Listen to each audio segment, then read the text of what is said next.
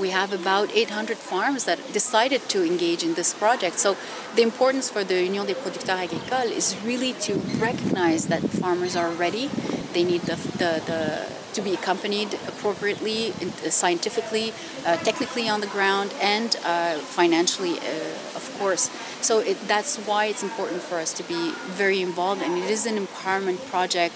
And the idea is farmers uh, as much as other groups are it's important for them to have that authority and that decision of which action I can do this year versus next year versus the third year and see the results as it grows within their farm. So the first two phases are anchored around uh, the nitrogen uh, input that is put on the fields and experimentation on different uh, dosage that is made.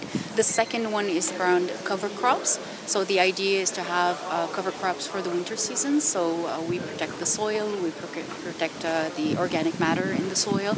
Um, and the third one is really around climate change and adaptation and uh, uh, reduction of uh, gas that are emitted in a farm. It really depends on the region where the farm is and on, on the farm itself, what is their production and the proposals and the actions are adapted to that specific production and to the capacity of the farmer also.